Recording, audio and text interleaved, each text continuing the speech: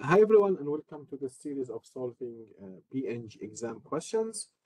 And uh, this is a question from the electrical A5 exam. This is a Wheatstone bridge question that appears in several uh, exams. As you can see here, the dates of that question. Now, when you look to this question for the first uh, impression we got, this is a circuit question. Why this question is coming into an electronics exam.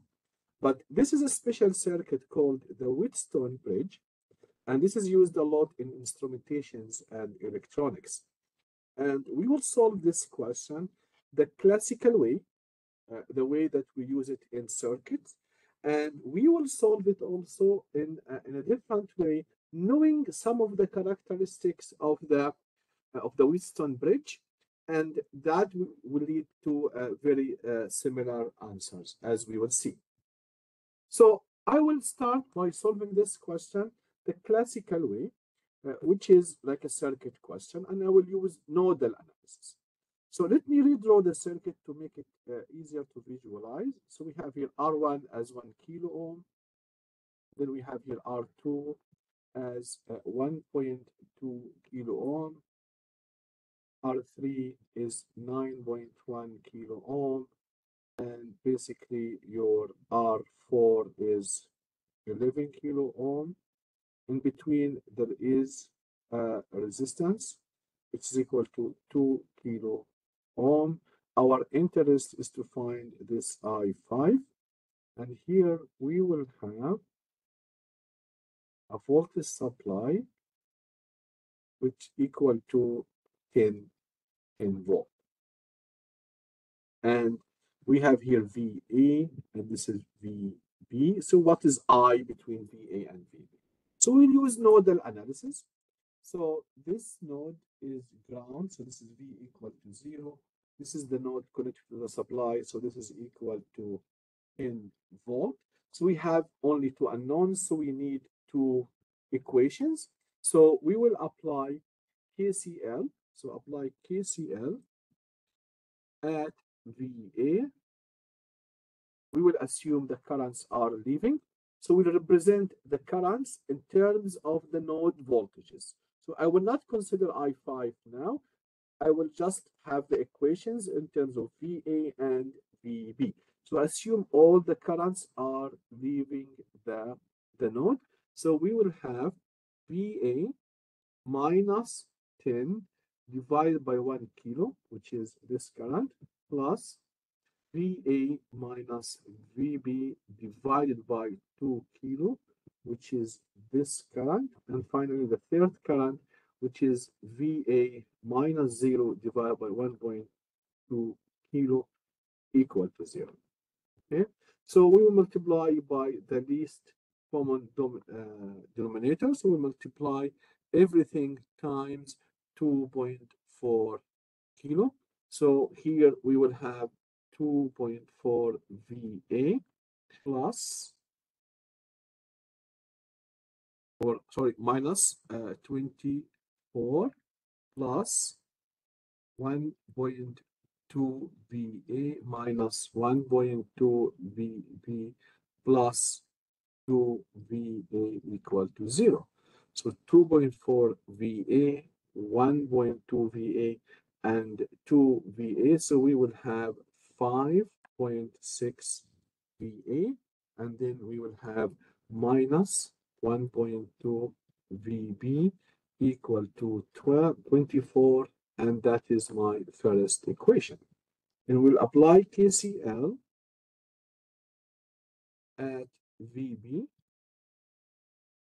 Again, I will assume all the currents are leaving. It doesn't matter the current direction.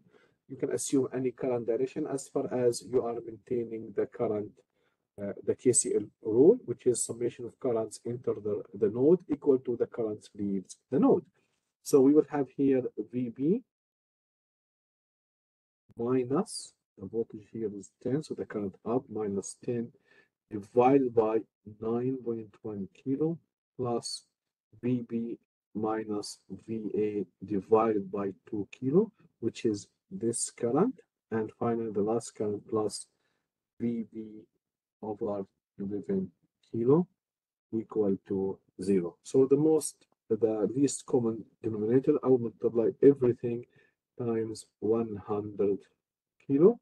So we'll have here 11 VB minus 10 plus 50 VB minus VA plus 9.1 VB equal to zero.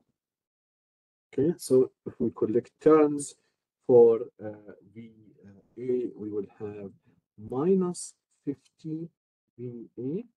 For VB, we have 11, we have 50, we have 9.1, so plus 70.1 VB, and this equal to 110.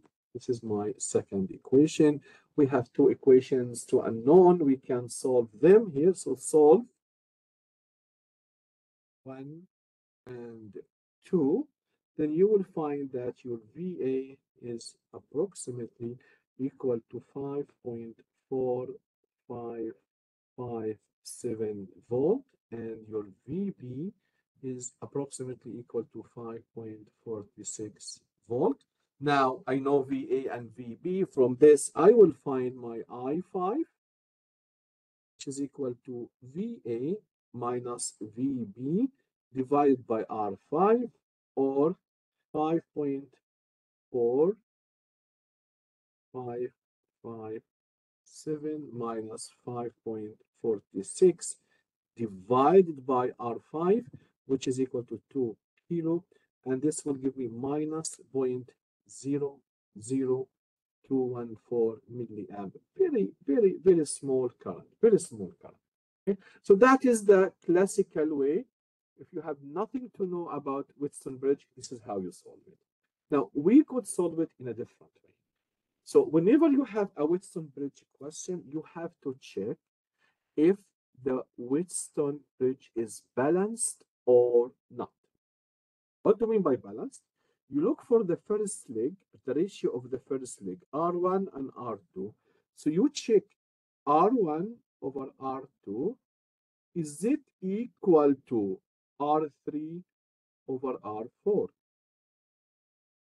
Okay, let's see. R1 is 1 kilo divided by R2, which is 1.2 kilo.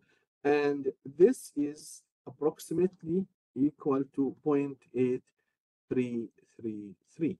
Now, R3 over R4, it is 9.1 kilo divided by 11 kilo, and that is also around 0.827 to 7 and so on and so forth. Okay, so when you look here for the second digit, if you approximate this, they are almost equal. So if these two ratios are equal, it means that VA is actually equal to VB, and this will make your I5 equal to 0.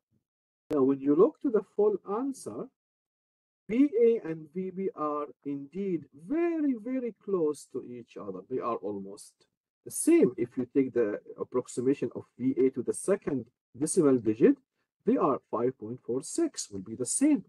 Okay, and when you look to the current, it's basically what to 2.14 microamp, extremely, extremely small current. Okay, so you can approximate it equal to zero. So if you have no clue how the Wheatstone bridge works, you can use this classical approach. It's a simple problem, two unknowns. If you know the Wheatstone bridge and you understand that if the bridge is balanced, then the current here is equal to zero and VA will be indeed equal to VB.